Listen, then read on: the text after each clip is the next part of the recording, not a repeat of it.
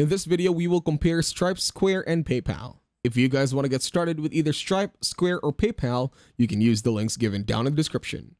Choosing a payment processing platform is crucial for businesses aiming to facilitate seamless transactions online. Stripe, Square, and PayPal are three prominent players in this space, each offering distinct features tailored to different business needs.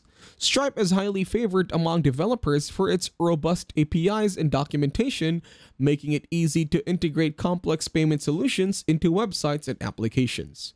It supports businesses in over 40 countries, providing a wide range of payment methods, including major credit and debit cards, as well as local payment options like Alipay and SEPA Direct Debit offers extensive customization options for subscription models, billing cycles, and pricing plans suitable for SaaS businesses and subscription-based services.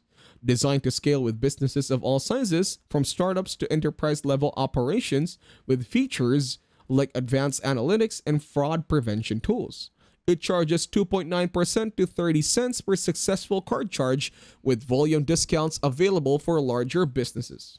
Square provides a comprehensive suite of services beyond payment processing, including POS systems, inventory management, and payroll services. It is known for its Square Reader, which allows businesses to accept payments via mobile devices, making it popular among small businesses and service providers.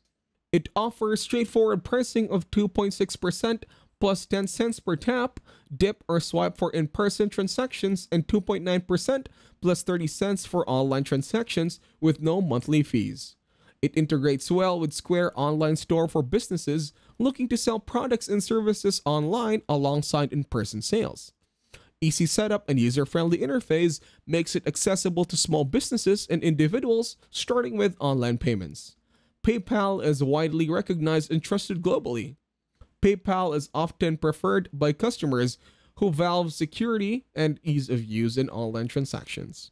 It allows businesses to accept payments via PayPal, credit cards, and debit cards, offering a variety of payment options for customers. It supports payments in over 200 countries and accepts multiple currencies, making it suitable for businesses with a global clientele. It offers strong buyer protection policies, which can be reassuring for customers making online purchases.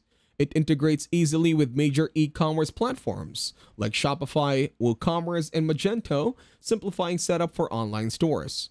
Choosing between Stripe, Square, and PayPal largely depends on your specific business needs and priorities. Stripe is ideal for businesses needing robust customization and scalability, especially in the realm of subscription and SaaS.